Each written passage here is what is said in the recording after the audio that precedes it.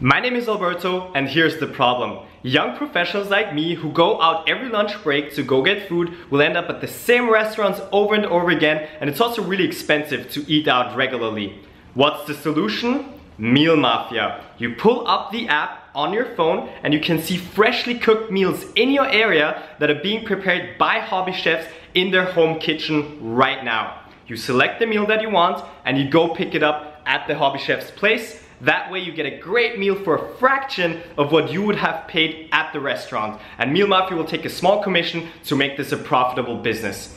This will disrupt the food market in a more sustainable way for the world because it helps people make and also save money and at the same time we cut down costs and resources for food delivery.